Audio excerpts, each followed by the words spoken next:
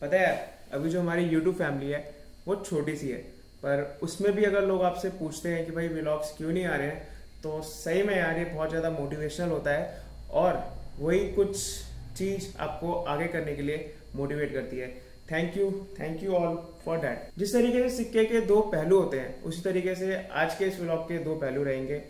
हो सकता है कुछ लोगों को ये व्लॉग बहुत ज़्यादा पसंद आए और कुछ लोग मेरे पीछे डंडा, हथौड़ा वटोड़ा पता नहीं क्या क्या लेके पीछे पड़ जाएँ। पर मेरा मानना यह है कि यार सच्चाई दिखाना बहुत ज़रूरी है। आज हम कहीं जा नहीं रहे हैं, मैं आपको वहाँ लेके जाऊँगा, जहाँ पे मैं रोज़ जाता हूँ, यानी चांदी चौक। काफ़ी दिन से यार 120 ट्वेंटी हुआ नहीं है तो पेश है 120 ट्वेंटी में चांदी चौक।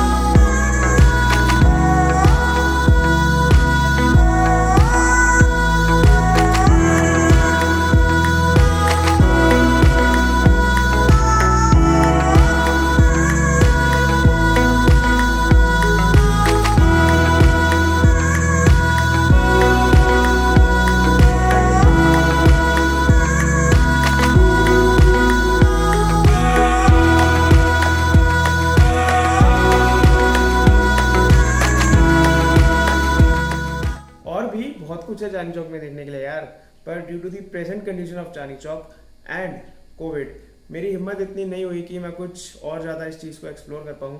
कभी करेंगे फ्यूचर में जब सब कुछ सेटल डाउन हो जाएगा। कोविड तो वैसे अब कुछ रहा ही नहीं है यार। कुछ लोगों के मास्क यहाँ पे होते हैं, कुछ के यहाँ पे होते हैं, कुछ तो फ़ैशन के लिए गले में पहनते हैं।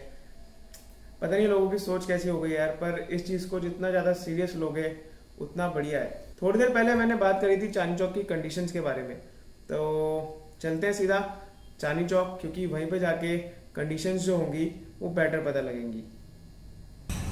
तो हेलो जी हम पहुँच गए हैं चांदी चौक और हमारे साथ है बहुत पास तो पड़ोसी पड़ोसी का सीन समझ आएगा नहीं आया? अभी भी कंफ्यूजन है बट मुझे लगता है समझ में आ जाएगा। भाई पतंग का इतना बड़ा फ़ैन है अभी भी यहाँ पे इनको डोर दिख रही थी। अरे सच में मिली? पतंग है अभी। पतंग ढूंढ रहे थे। फ़िलहाल यार हम चांदी चौक में हैं और आपको दिखाता हूँ सुबह सात बजे हैं अभी। और सात बजे का जो माहौल है वो दिखाता हूँ।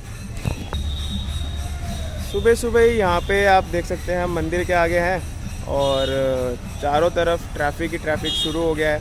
यहाँ पे हम लोग अभी फ़िलहाल चल रहे हैं। This used to be a proper road अब तो पता नहीं इन्होंने रेड पत्थर से क्या बोलेंगे इसको? ये रेड कारपेट रेड कारपेट की तरह इन्होंने बना दिया है ये। एक्चुअली ये जो था एक रास्ता था चांदी चौक से बाहर निकलने के लिए। यहाँ से कार्स वगैरह और सारा व्हीकल टोटल टोटल व्हीकल जो यहाँ का होता था चांदी चौक आता था वो इस रास्ते से निकलता था। पर फ़िलहाल जो लग रहा है सीन वो ये है कि आने वाले टाइम में मेरे हिसाब से कोई व्हीकल तो यहाँ से निकल नहीं पाएगा जो बैटरी रिक्शाज हैं और ऑटो रिक्शा हैं। साइकिल साइकिल्स वगैरह। पैदल तो वही चीज़ें यहाँ से निकल पाएँगी। क्योंकि ये बनाया गया ही इसी तरीके से है। चांदी चौक में आने जाने के लिए जो मेन दो रास्ते हैं उनमें से एक ये था और दूसरा जो रास्ता है उसके जो हालत है वो कुछ ऐसे हैं।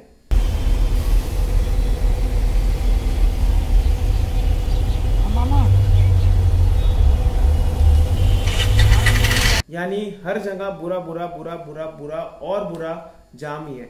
या पिछले तीन साल से ये सब कुछ ऐसा ही चल रहा है जब से कंस्ट्रक्शन वर्क शुरू हुआ है जब से इतनी बुरी हालत है कि बस क्या बताऊँ। और इस समय तो डर इस चीज़ का लगता है कि यार इतना ज़्यादा ट्रैफ़िक है तो सोशल डिस्टेंसिंग कैसे मेंटेन होगी? इतने ट्रैफ़िक में बहुत ज़्यादा परेशानी झेलनी पड़ती है सभी को सभी को और सभी को। कंस्ट्रक्शन का क्या हाल है? वो सब आपके सामने है। एक्चुअली ये जो प्रोजेक्ट है लगभग तीन साल इसको हुए हैं। तीन साल में इतना चौड़ा गलियारा तो पूरा हो जाना चाहिए था, पर अभी तक पूरा नहीं हुआ है। इसकी वजह से जो है, जो दुकानदार लोग हैं हमारे यहाँ पे सारे, उनको बहुत ज़्यादा दिक्कत फेस करनी पड़ती है। जो कस्टमर का फुटफॉल होता था, भाई मुझसे पूछ रहे थे कि क्या नुकसान होता है? नुकसान ये है कि यार, जो कस्टमर का फुटफॉल होता था यहाँ पे, वो बिल्कुल कम हो गया। अब थोड़ी कंडीशन सुधरी हैं तो हुआ है, पर बहुत ज़्यादा नुकसान लोगों को झेलना पड़ा इसी वजह से। क्योंकि मैं तो वहाँ पे रेगुलर रहता हूँ तो मुझे ये सब चीज़ों का आइडिया लग गया है। चांदी चौक में मेरे हिसाब से जितना मुझे नॉलेज है, चार से पाँच प्रॉपर पार्किंग की जो स्पेस है वो अवेलेबल है। एक तो जो है पार्किंग वो है आपकी रेडफोर्ट के सामने, एक दंगल मैदान की पार्किंग एक जो है क्लोथ मार्केट की पार्किंग हो गई, और चौथी पार्किंग जो है वो है शीशगंज गुरुद्वारे के सामने वाली पार्किंग जो कि अभी अंडर कंस्ट्रक्शन है। और उसको पार्किंग बनने में मेरे हिसाब से अभी भी तीन से चार साल लग जाएँगे। अब यार मुझे ये बात समझ नहीं आती कि जब आपको पता है कि ये हालात हैं, एक बिज़ी मार्केट है चांदी चौक जैसी प्लेस तो आपने बिना पार्किंग का कुछ प्रॉपर इंतज़ाम करे, ये कंस्ट्रक्शन वर्क क्यों छेड़ा? टाइम हुआ है ग्यारह बज के पाँच मिनट और पर्ची से आपको पता लग गया होगा मैं दंगल मैदान की पार्किंग में हूँ। यहाँ के सीन्स कुछ ऐसे हैं। ये देखो भाई। ग्यारह बजे ही पार्किंग जो है पूरी फुल हो चुकी है। अब ऐसे पार्किंग फुल हो जाएगी तो ज़ाहिर सी बात है, बंदा कहाँ जाएगा? जब पार्किंग में जगह नहीं मिलेगी तो आप आओगे यहाँ पे। हंसने वाली बात है ना? ये देखो। अभी दस बजे हैं और जैसे जैसे शाम बढ़ती रहेगी ये पूरी जो जगह है इसी तरीके से कार पार्किंग बन जाएगी। इसे कहते हैं पार्किंग माफिया। बीस बीस तीस तीस रुपये में लोग अपनी गाड़ी पार्क कर जाते हैं। उनकी सेटिंग्स होती हैं सारी पुलिस वालों से। और इसी तरीके से ये जो सड़क है, अभी कुछ टाइम में आपको यहाँ पे सारा जाम मिलेगा। ऐसी एक जगह और है, वो दिखाते हैं आपको। चलो। ये रही वो दूसरी जगह, जिसके बारे में बात कर रहा था। मेन रोड पे इतनी बुरी तरीके से पार्किंग हो रखी है। और सबसे बड़ी बात है, सामने पुलिस वाले का ऑफ़िस भी है। क्या कहोगे इसको? अब आते सीधा मुद्दे पे, जिसके कारण कुछ लोग मेरे साथ हो जाएँगे और कुछ लोग तो मेरे खिलाफ हो जाएँगे। ऐसा कुछ मैं करने वाला नहीं हूँ, पर ये मेरी थॉट्स हैं जो कि मैं आप लोगों के साथ शेयर कर रहा हूँ। यार, सभी को पता है इस गलियारे को बनाने में लगभग सौ करोड़ रुपए के आसपास लग गए हैं। एग्जैक्ट अमाउंट तो अभी बाहर आई नहीं है तो जो अंदाज़ा है वो लगभग इतना ही है। तो वो वर्थ बिल्कुल भी नहीं है, क्योंकि अभी भी आपकी जो ट्रैफ़िक की समस्या है, वो सॉर्ट आउट बिल्कुल भी नहीं हो पाएगी। इनफैक्ट और बढ़ जाएगी। आप खुद ही सोचो, जो एक प्रॉपर रोड थी, उस पर व्हीकल चलते थे, और उस रोड को आप ब्लॉक करके उस पर हैंड रिक्शाज और रिक्शा मेरे ख्याल से जो ये अलाउ करेंगे, वो चलाओगे तो मेन ट्रैफ़िक है वो कहाँ जाएगा?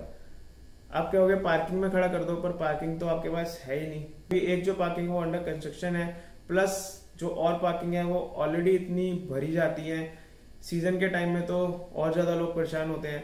तो कैसे सॉर्ट आउट होगी ये ट्रैफ़िक की प्रॉब्लम अगर हम एनालाइज करें तो हमें पता लगता है कि यार, जो पहले यहाँ पे जाम लगता था बिफोर कंस्ट्रक्शन यहाँ पे जाम लगता था, उसके दो तीन मेन रीजन थे। उनमें से एक ये था कि भाई, एक तो ये थोड़ा प्रॉपर कुछ बना नहीं हुआ था। यहाँ पे रोड्स बहुत ही बेकार कंडीशन में थी। प्लस दूसरा रीजन ये है कि लोग यार वहाँ पे साइडों में पार्किंग कर देते थे। उसके कारण जो है पीछे से जो ट्रैफ़िक आता था वो हॉल्ट होता था और जाम लग जाता था। अगर इन चीज़ों को ध्यान में रख के, इन चीज़ों पर फोकस किया जाता तो शायद इतना पैसा खर्च नहीं होता, लोगों को इतनी डिफिकल्टीज झेलनी नहीं पड़ती और जिन लोगों का मेन रोड पे व्यापार है, उनका व्यापार इतना खराब नहीं होता। अब क्या करें भाई, हमारे देश में डेवलपमेंट होती तो है पर वो सस्टेनेबल डेवलपमेंट होती नहीं है। यही चीज़ मैं आप लोगों के साथ शेयर करना चाहता था आज, और हिम्मत करके मैंने शेयर कर दी। इतनी बुरी हालत हो जाती है मेरी शॉप पहुँचते पहुँचते और वापस घर आते आते कि भाई, रोज ऐसा लगता है कि यार, किसी ना किसी दिन कोविड पकड़ लेगा, क्योंकि शॉप पे हम लोग अपनी तरफ़ से पूरे प्रिकॉशन रखते हैं, पर रोड पे आप प्रिकॉशन क्या रखोगे? कोई खांस दे, कोई चीख दे और सोशल डिस्टेंसिंग मेंटेन ना हो पाए। व्हीकल्स में भी आदमी मोटरसाइकिल पे जो टू व्हीलर्स पे जो मेन लोग होते हैं, वो आपस में इतने क्लोज आ रहते हैं तो कुछ भी हो सकता है तो थोड़ा डर उसकी वजह से मन में बहुत ज़्यादा है। सो होपफुली आपको आज का ब्लॉग अच्छा लगा होगा। अच्छा लगा होगा तो यार इसको शेयर ज़रूर कर देना, क्योंकि पहली बार मैं किसी चीज़ को दिल से चाहूँगा कि आप शेयर करो, क्योंकि एक जेनवन थॉट थी मेरी। और अगर ये थॉट सबके सामने पहुँच जाती है तो होपफुली जो अब हो चुका है, उसको तो हम ठीक नहीं कर सकते। पर आगे जो होने वाली चीज़ें हैं, उनकी जो प्लानिंग होगी, वो प्रॉपर तरीके से होगी, जो कि इस प्रोजेक्ट की प्लानिंग बिल्कुल ही नहीं हो पाई है प्रॉपर तरीके से। बस मिलते हैं यार, अभी कहीं ट्रैवल तो हो नहीं पा रहा है, पर जल्दी कहीं ना कहीं कुछ ना कुछ राइड का सीन बनेगा तो उसी राइड के थ्रू आपके सामने आएँगे। Till then take care tata bye bye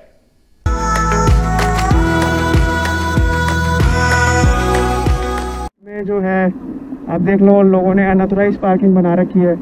कोई भी पुलिस वाला नहीं कहता। वैसे ही सड़क बहुत ज़्यादा चौड़ी है और और चौड़ी ये लोग कर देते हैं।